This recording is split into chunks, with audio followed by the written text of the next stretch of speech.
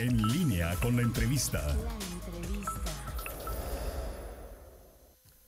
Regresamos, son las 8 de la mañana con 4 minutos. Hoy se encuentra con nosotros y agradecemos mucho su presencia la consejera del Instituto Electoral del Estado de Guanajuato, Sandra Liliana Prieto de León. Buenos días, consejera. Gracias por estar con nosotros. Al contrario, muchas gracias. Muy buenos días al auditorio. Qué gusto estar con ustedes, Toño y Miguel. Al contrario, el, el instituto comenzó el domingo una consulta eh, para personas con discapacidad afromexicanas y de la diversidad sexual sobre la posible emisión de acciones afirmativas en la postulación de candidaturas a cargos de elección popular en el estado de, Guanajuato. El domingo se fue, fue la primera y fue de la diversidad sexual.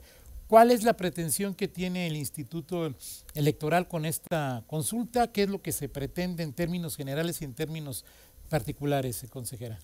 Sí, claro que sí. Pues bueno, es importante precisarles lo siguiente. El Instituto Electoral está dando cumplimiento a una instrucción que le dio el Tribunal Estatal Electoral de Guanajuato en el sentido de realizar un informe, un informe que le permita generar datos objetivos para revisar si es posible dictar alguna acción para garantizar la participación política de todos estos grupos que ya mencionaste, Toño.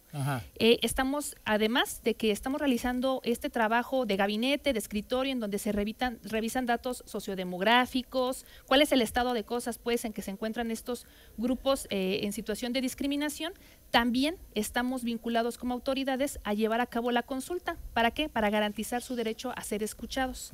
Y es a partir de la información que obtengamos, de lo que se obtenga de la consulta, del informe que les estoy comentando, que podremos tomar la determinación de qué medida podríamos generar a efecto de garantizar que auténticamente estos grupos puedan acceder a un cargo de elección popular y sobre todo a los órganos de elección popular. En, ese sentido, estamos partiendo de la base de que estos grupos son discriminados. Así es, así es. Históricamente hay una deuda que tenemos como Estado mexicano, como autoridades y en términos generales como sociedad, que no hemos eh, logrado, a pesar de que tienen reconocidos sus derechos humanos, pues no hemos logrado incluirlos auténticamente pues en las diferentes estructuras sociales y se les ha discriminado. Ahora, cuando habla eh, el Instituto de Acciones Afirmativas, ¿Cuál es el portafolio que comprende estas acciones, eh, consejera? Pues son múltiples. Tratándose de cuestiones estrictamente electorales, significa generar condiciones auténticas para que puedan ser postulados por los partidos políticos a un cargo de elección popular. Y de igual forma, no solamente nos vamos a detener en el tema de la postulación, porque es importante también eh, señalarlo. Tenemos también que generar condiciones para que accedan a ocupar estos cargos ya en, digamos, todos estos órganos de elección popular. Entonces, a eso nos referimos, a generar estas postulaciones para que se puedan incorporar. ¿A través de qué mecanismos? Por ejemplo, se hablaba mucho, se discutía de si una plurinominal o no una plurinominal, si se les da un distrito, si no se les da un, distrito. Y hemos hablado, eh, lo hemos platicado con Miguel, fundamentalmente de diputaciones. También estamos pensando, también se piensa en, alcaldías, en, los puestos de síndico, puestos de regidoras y regidores? Así es. Eh, el estudio que estamos realizando es para cualquier cargo de elección popular, por supuesto, en el estado de Guanajuato. Es importante que eh, pues todos quedemos bien entendidos de esa parte, ¿no? Puede ser, como decías, a un cargo de diputación, ya sea por el principio de mayoría relativa, que es directamente cuando las personas hacen campañas electorales, o bien a través de la representación proporcional, que es la lista que presentan los partidos políticos para que de ahí se les asignen diputados o diputadas de forma directa. Entonces, puede ser a través eh, de ese medio, de la diputación, o bien de las propias, eh, de las personas que integran pues todos estos ayuntamientos, presidencias municipales, regidurías, sindicaturas, etcétera. Ahora, cuando hablamos, por ejemplo, de, personas afromexicanas, ¿quién está en este grupo? es decir, al final de cuentas, pues me supongo que genética e históricamente todos terminamos siendo con algún gen, alguna parte de, nuestro DNA con algún gen africano. ¿Quiénes son? ¿Cómo es un grupo organizado? ¿Cómo entender lo que significa este grupo, consejera? Justamente es importante señalar que, eh, a diferencia de otras entidades federativas, Guanajuato no tiene, eh, digamos, una parte histórica o una parte eh, documentada de ascendencia afromexicana. Y es justamente lo que va a arrojar este estudio. En, primer, en primero decirnos qué eh, características tienen las personas afromexicanas en Guanajuato, dónde se encuentran asentadas, cuál es el número de población que existe con estas características, a efecto de qué, de que podamos determinar pues tal, tal cual, ¿no? Cuál es el número y dónde están ubicadas. Pero, por, ejemplo, ahí, ¿cómo, Eh, ¿Quién entiendo cabe en por- este eh, sí, grupo? y entiendo que las, hay evidencias de que las, las diversidad sexual, gente de la diversidad sexual es discriminada. Eso hasta lo presenciamos, lo, lo- lo vivimos, etcétera. Claro. Y de la discapacidad, pues ni se diga. Pero, por ejemplo, mi, mi cuestionamiento es el tema de los eh, afrodescendientes. Es un, ¿Cómo se concluye que, que son discriminados si en Guanajuato ni siquiera hoy ubicamos en dónde están o cuántos son? Justamente, Miguel, ese era uno de los temas que discutíamos hace más de un año en el Instituto Electoral, particularmente el 8 de marzo de 2022, en donde por mayoría el Consejo General del Instituto Electoral dicta una eh, medida afirmativa, que esa es la medida afirmativa que fue controvertida en el tribunal Así y es, es. por eso que estamos realizando el estudio. Y justamente en aquel momento era una de las reflexiones que inclusive yo hacía en el, en el pleno del Consejo General, quiénes son, dónde están, cuántas personas eh, tal cual hay en el estado de Guanajuato, qué les caracteriza, qué les define a diferencia de entidades federativas como Veracruz, como Guerrero, que tienen una importante eh, población, ¿verdad? Afrodescendiente, y en ese sentido, ¿qué es lo que caracteriza en el estado de Guanajuato a todas estas eh, poblaciones? Para efecto de que se emita una acción afirmativa. Yo quiero comentarles que en ese momento el Instituto Electoral no contaba con esa información y al día de hoy, ¿qué estamos haciendo? No contamos de, de manera definitiva con los datos, pero estamos procesando esa información a partir de qué? De todos estos estudios socio- sociodemográficos que emiten las diferentes autoridades. Entonces, justamente en el informe es donde haremos constar todos estos datos, Miguel. En este momento no podría darles a ciencia cierta información de dónde están ubicados, cuál es el número de la población que tenemos en el estado de Guanajuato, porque, insisto, esos datos no, no obran todavía, son el parte de domingo la en el foro es el foro del domingo, ¿no? Así es. Ahí veremos, digo, por lo, por sea, lo ¿quién pronto, ve- veremos ¿Quién? quién va a ir. O sea, Claro, yo soy afrodescendiente, o sea, ¿quién va a ir? O sea, O sea, y- ¿cuáles son, digamos, el, el ¿cómo se escriben ahí? De, de- de- de que soy afrodescendiente o no? Bueno, en principio quiero comentarles que las consultas que va a realizar el Instituto Electoral a estos tres grupos, pues son de buena fe. Sí. Y, en el, y cuando decimos de buena fe se entiende que partimos de que las personas que se presenten al foro o que quienes con- eh, contesten la consulta, estos cuestionarios que se están eh, teniendo en línea en la página institucional del Instituto Electoral, pues eh, serán personas que se estima que son personas afrodescendientes. ¿Me explico? Esa es una parte muy importante que debemos de considerar. ¿Por qué? Porque tampoco no existe eh, algún registro a efecto de documentar o asentar estos datos de las personas que eh, se autoadscriben como afro- afrodescendientes. Entonces, partimos de que estamos realizando esta consulta de buena fe y que quienes la contesten pues estarán también actuando de buena fe. Pero algunos no sabrán qué es ser afrodescendiente. O sea, es decir, cuáles son las características que una persona debería cumplir para insertarse en este grupo.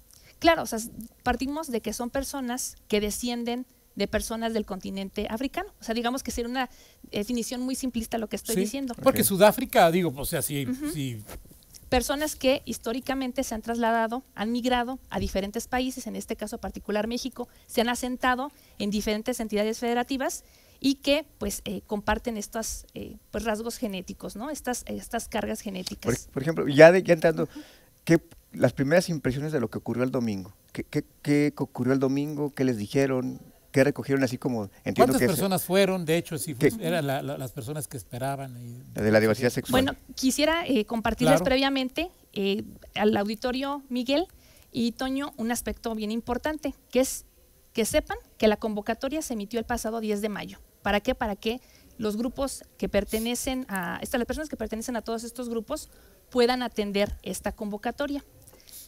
Esta consulta como tal se va a llevar a cabo del día 22 de mayo al 19 de junio. Podrán contestar el cuestionario que está depositado en la página institucional, cada una de las personas que se autoadscriban con estas características. Luego, para efecto de poder llevar a cabo todas estas actividades, estamos realizando tres foros distintos. El pasado, 28 de mayo, llevamos a cabo, como ya dijeron, el de la diversidad sexual. El próximo 4 de junio estaremos llevando a cabo el de personas afrodescendientes y el 11 de junio siguiente estaremos llevando a cabo el de personas con discapacidad. Es decir, estos foros son con la idea de llevar a cabo el intercambio de ideas, opiniones, puntos de vista, reflexiones. Y el pasado 28 de mayo, concretamente, que llevamos a cabo el de las personas de la diversidad sexual, bueno, se hizo una convocatoria pública, una convocatoria abierta, con la idea de que cualquier persona que se asuma que se autoadscriba como persona de la diversidad sexual o de género pudiera acudir. Y efectivamente llevamos a cabo ese ejercicio en el que participaron, por ejemplo, el grupo de personas investigadoras, personas que se autoadscriben eh, con esta condición de la diversidad sexual y de género, y de igual forma también acudió representación de la Procuraduría de Derechos Humanos del Estado de Guanajuato, que es el órgano garante de este tipo de consultas.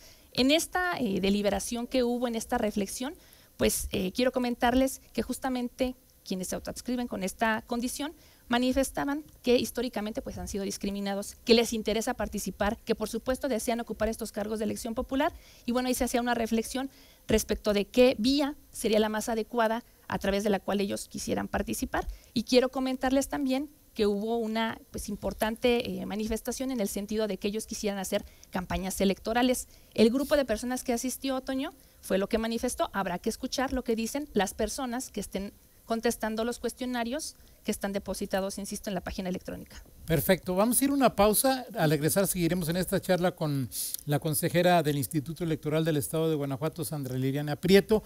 Es, todo esto va a terminar sí o sí en una, en una de estas llamadas eh, medidas eh, eh, afirmativas. ¿O puede ser que... ¿cómo, en, qué va a terminar este asunto, por favor, consejera, después de una pausa? Claro que sí. Síguenos en Twitter arroba guion bajo en línea. Regresamos, son las 8 de la mañana con 20 minutos. Seguimos en esta charla con la consejera del Instituto Electoral del Estado de Guanajuato, Sandra Liliana Prieto. En la pausa, consejera, nos platicabas acerca de que están trabajando con cinco grupos. Cinco grupos que se mueven en cuerdas diferentes y que están en momentos diferentes. ¿Cuáles son, consejera? Así es. Pues el primer grupo es migrantes, luego indígenas, afrodescendientes, personas con discapacidad y por supuesto personas de la diversidad sexual y de género. ¿Cómo va cada uno de estos eh, eh, procesos en estos momentos? Muy bien, pues quiero comentarles que desafortunadamente em, para todos estos grupos no ha habido una regulación ni siquiera en la ley general a nivel nacional ni tampoco en la ley local a efecto de que de potenciar su participación política, de generar condiciones auténticas de participación. Ahora, respecto eh, de ello, ¿qué hemos hecho las autoridades electorales? dictar medidas, ¿sí? O a realizar los estudios para dictar medidas. Y en ese sentido, hemos sido vinculados por sentencias que ha dictado el Tribunal Estatal Electoral de Guanajuato a generar estas medidas, ¿sí? Entonces, en relación con el grupo, por ejemplo, de personas migrantes, ya dimos cumplimiento a la sentencia del tribunal. ¿En qué sentido? Dictamos una acción afirmativa en el Instituto Electoral. Esta acción afirmativa consiste en que para el siguiente proceso electoral, esto es 2023-2024, los partidos políticos deberán postular personas migrantes en la lista de representación proporcional e incluirlos incluso hasta la cuarta fórmula, es decir, de la primera a la cuarta fórmula, los partidos políticos deberán postular una persona migrante. Esa acción afirmativa. Hombre o mujer, o, también tendrá que combinarse ahí. En este momento no hay una determinación, bastará con que sea en las cuatro primeras fórmulas de conformidad con eh, las reglas de postulación paritaria. Ya saben, eh, si se encabeza por hombre, alternadamente va mujer y se sigue el orden sucesivo. ¿sí? Ahora bien, esa acción afirmativa ya quedó firme y será aplicada para el siguiente proceso electoral. Ahora bien, en el caso de que las y los legisladores guanajuatenses regulen el tema en la ley de qué se trata, y sea más garantista, pues será aplicada, por supuesto, por una cuestión nada más de orden eh, en cuanto al sistema normativo. O sea, este, digamos, es el piso, no puede pasar de ahí de que los legisladores digan sexta o no, ya. Entraremos seguramente en alguna controversia, pero yo y solo diputaciones, ¿verdad? Y solo diputaciones. El tema de la participación, tal cual, una acción afirmativa que hayamos dictado en el instituto en relación con la integración de los ayuntamientos, aún no se ha llevado a cabo. ¿sí? Entonces es importante comentarles que las disposiciones que van a normar, que van a regular la Diputación Migrante, aún están pendientes que se dicten por parte también del Consejo General, pero ya está la medida, eso es lo importante. Ahora bien, en relación con el otro grupo, que es el grupo de personas indígenas, quiero comentarles que en la ley electoral del Estado de Guanajuato ya está regulada la participación de personas, pueblos y comunidades indígenas a ser postulados a un ayuntamiento. Ya está, esa parte está regulada y ya está incluso también reglamentada por el Instituto Electoral. ¿Qué es lo que falta? Pues eh, dar cumplimiento a la sentencia también del tribunal que nos vincula tanto al Congreso del Estado como al Instituto Electoral de Guanajuato a regular su participación política, ¿sí? Entonces, estamos esperando justamente a que el Congreso haga lo propio para a partir de ello nosotros poder en el instituto reglamentar la participación de personas indígenas a una diputación en el Congreso del Estado de Guanajuato. Tendremos que llevar a cabo en los siguientes meses los trabajos que resulten necesarios. Ya tenemos trabajo interno, ya tenemos estudios, ya tenemos información, ya hemos hecho todo ese procesamiento de datos, pero ¿qué estamos esperando? Pues que el, Congreso del Estado emita lo que resulte necesario para a partir de ello nosotros regular. ¿Qué va a pasar, Toño, en caso de que el Congreso del Estado no regule esta figura? Pues nosotros tendremos ¿verdad? En cumplimiento de esta sentencia y en cumplimiento de nuestras atribuciones constitucionales que regular la figura. Y luego están las otras. Habrá representantes de grupos indígenas en los siguientes ayuntamientos, por lo menos candidatos. Eso ya es. un hecho. No, de hecho, ya hay personas indígenas ocupando estos cargos a partir de los resultados del proceso electoral 2021. Ya hay mujeres que están ocupando estos cargos en los diferentes municipios del estado de Guanajuato, Tierra Blanca, Jichú, ya están ellas participando, ¿sí? O sea, ya se, ya se eh, aplicaron estas medidas legislativas, no son medidas afirmativas, son medidas legislativas y ellas ya fueron electas y están en el ejercicio del cargo. Perfecto. Y los otros tres grupos, que son afrodescendientes, eh, diversidad sexual y personas con discapacidad. Así es, y, y justamente les decía, estamos en cumplimiento de esta sentencia. ¿Qué estamos haciendo? El estudio, estamos haciendo la consulta y a partir de los hallazgos y de la información que se genere en estos eh, estudios, pues es que habremos de dictar, pues en todo caso, la acción afirmativa que resulte. ¿sí? Y preguntaba yo antes de la pausa, es, ¿esto terminará en acciones afirmativas sí o sí para el, el periodo 2024 o todavía puede ser que que, no hay acción afirmativa, consejera. Yo no me quiero adelantar, ¿por qué? Porque adelantarme sería emitir un juicio anticipado de la valoración de ese documento y como no quiero incurrir en alguna falta, ¿verdad?, en alguna irregularidad, yo eh, preferiría reservarme esa respuesta todavía, Toño, pero quiero comentarles que es indudable que las autoridades electorales tenemos que actuar y tenemos que generar esas condiciones de participación, tenemos que hacer lo que resulte necesario. ¿Para qué? Para que todas las personas que pertenecemos a la sociedad guanajuatense podamos estar representadas y podamos tener eh, justamente pues esa participación. Ahora, por ejemplo, es, estos grupos, eh, vamos a suponer el caso de, de León, si estos cuatro grupos tienen obligatoriamente, deberían tener obligatoriamente una presencia, significarían el 33% de los regidores. ¿Sí? Eh, y por ejemplo, los, los que estamos feos, consejera, que queremos ser representados, o, o sea, ¿dónde, qué, qué, pasa? Y porque usted lo decía de la, buena fe, es, ¿qué pasa si alguien dice que es de la diversidad sexual y en verdad no lo es? ¿Va a haber un examen de cama? O sea, es complicado este tema, ¿no? O sea, en términos de, la, de, de, de, cómo comprobar la afrodescendencia, cómo eh, comprobar la parte indígena, son temas complicados. Pues por supuesto, en principio, insisto, la autoridad actúa de buena fe, ¿sí? Somos respetuosos en el Instituto Electoral de la adscripción que hagan las personas de pertenecer a todos estos grupos. Sin embargo, ¿qué hemos observado, Toño, en otras entidades federativas? Que ha habido simulaciones, que ha habido gente incluso que ha pretendido hacerse pasar eh, eh, particularmente por personas de la diversidad sexual, que es lo que hemos, eh, e incluso hasta por personas indígenas también. ¿Qué ha ocurrido? Bueno, pues en principio, justo en la regulación de todas estas figuras, es que se emiten cuáles son los documentos idóneos que sirven para acreditar ese carácter. Tratándose de personas indígenas, por ejemplo, ¿qué es lo que se ha determinado? Que sean las propias autoridades indígenas las que les reconozcan estos caracteres, en principio. Sin Pero aquí en León, por ejemplo, ¿quién sería la autoridad indígenas? Bueno, es que no es en León nada más. Sí, claro, claro En el estado de Guanajuato hay autoridades indígenas y hay una gubernatura indígena, por ejemplo, hay un consejo estatal indígena e incluso en las propias eh, comunidades hay delegaciones, hay autoridades indígenas. Ellas tendrían que validar de alguna manera estas candidaturas. Así es, con la expedición de documentos en donde hagan constar justamente que estas personas pertenecen a todas estas comunidades, por citar solamente el ejemplo, ¿no? ¿Y en afrodescendientes? Pues justamente eso es lo que tendremos que revisar del estudio que resulte, ¿sí?